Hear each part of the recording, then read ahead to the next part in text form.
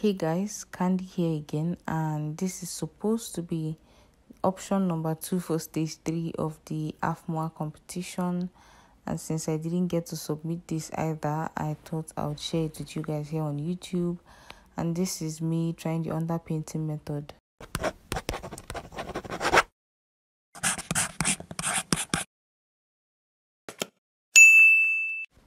So I started off with my vitamin C serum and then I rubbed it into my skin and then I applied my moisturizer right afterwards. If I had known, I would have piled on this moisturizer. And then I went on to apply a mattifying primer. Like, who am I kidding? Who am I kidding? You're going to see why later. And then afterwards, I started to layer on my products.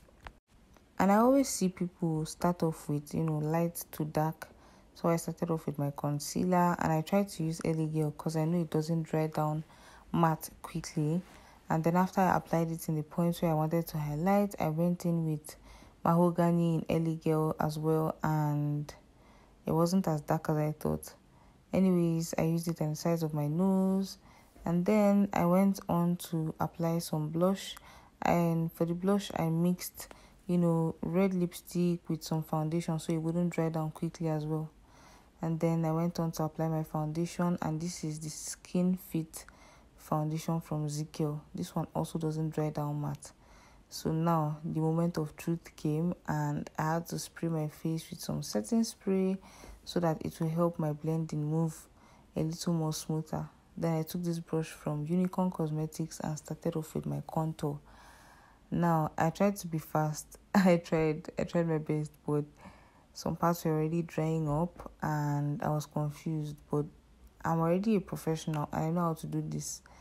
And I kind of finessed my way through it. But if you're a beginner, quite frankly, I'll tell you to blend every step. Like if you apply foundation, blend it. If you apply concealer, blend it. If you apply blush, blend it.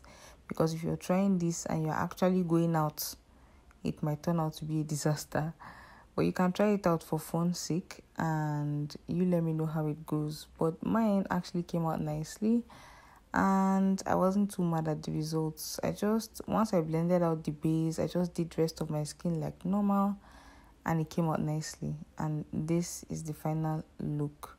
Like i think it's quite stunning. What do you think? I'm going to post the eyeshadow and the rest of the face tutorial and even the lips give this video a like and comment and watch out for my next video. Bye